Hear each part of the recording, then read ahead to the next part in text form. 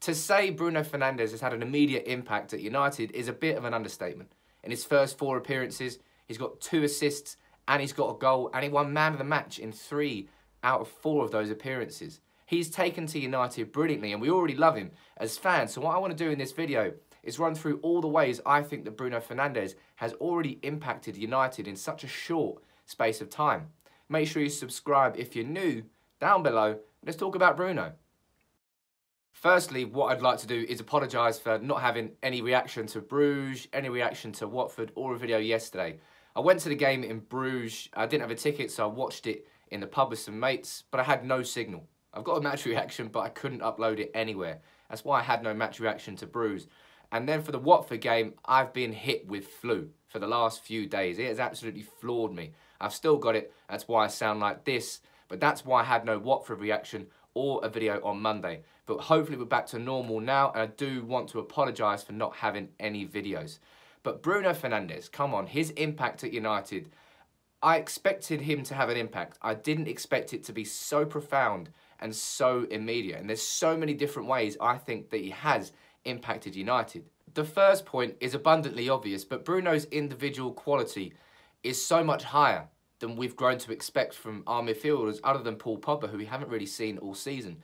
You look at his passing range, not only can he see the passes that others can't, he can execute them as well. You look at his set pieces, that corner for Maguire was probably the best corner we've had in three years, in swinging with real pace. And he's dangerous from free kicks. Spanked the post against Chelsea too. Clearly, he's going to add so much in terms of those set pieces and making United a danger from them again. And that is a massive deal. And then if you take a look at the tempo that Bruno Fernandes plays at, it's higher than we've grown to expect from our midfielders. It makes our attack far less predictable.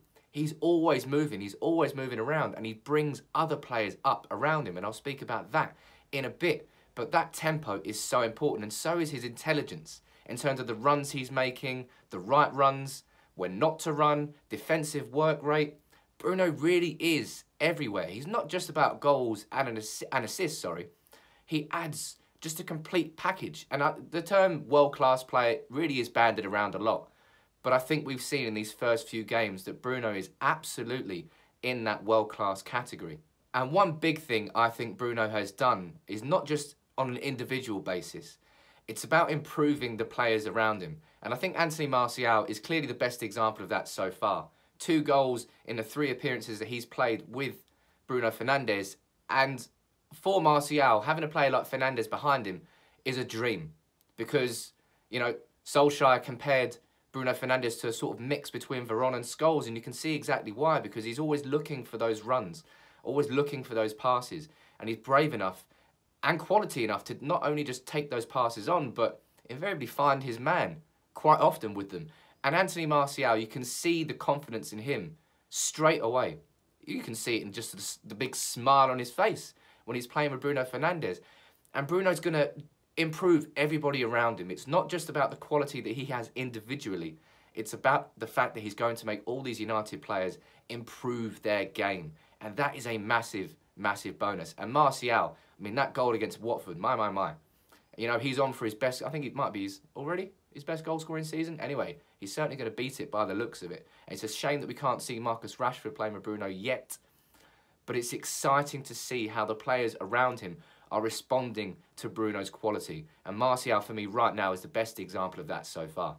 One thing I maybe didn't expect immediately with Bruno Fernandes was how much of a leader he is. You see him on the pitch pointing to runs that players should be making, pointing to space that players should be covering he's really inspiring by example. And Harry Maguire was brought in as the leader and the captain of the club, but I've seen more from Bruno in the first four games than I have really seen from a leadership perspective anyway than Harry Maguire has.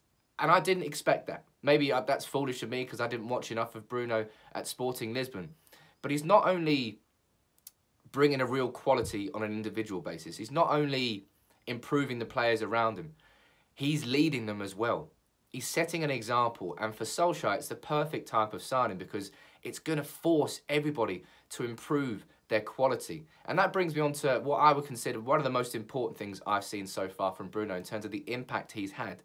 And it's Solskjaer's comments on Pereira and Lingard. Now, we all know that Solskjaer is a, is a nice manager. He's not a Jose Mourinho that's going to go and throw his players under the bus in public.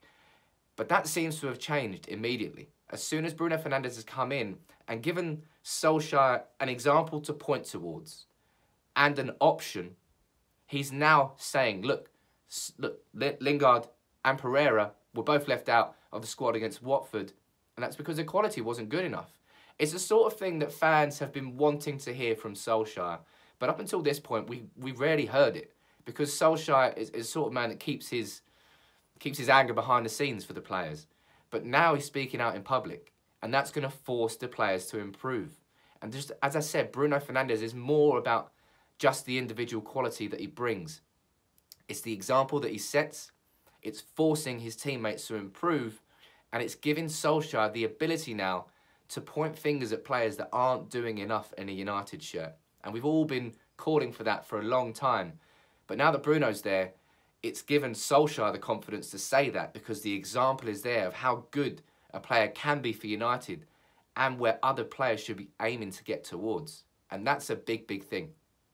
We all hoped that Bruno would have an immediate impact at United, but he's absolutely blown my expectations out of the water. Not only has he got goals and assists and man of the match awards, it's the tempo that he forces other players to play at.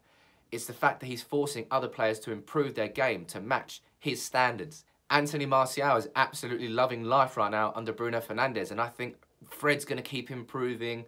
McTominay coming back into the team. It's going to be a far more exciting last couple of months of the season because Bruno is in it. And he is a world-class signing that we should have made in the summer and maybe it could have had a much bigger impact on this season. But it's exciting to see how United have improved with Bruno in the team and the example that he's setting for the other players going forward. Now, once again, I do want to apologise for the lack of videos. This illness has absolutely crucified me. But hopefully we're going to get back to normal. Bruges game on Thursday. Let's see what happens there. If you did enjoy the video, make sure you subscribe down below. Drop a like on it as well. But what are the... How do you think Bruno has impacted United? Let me know in the comments below.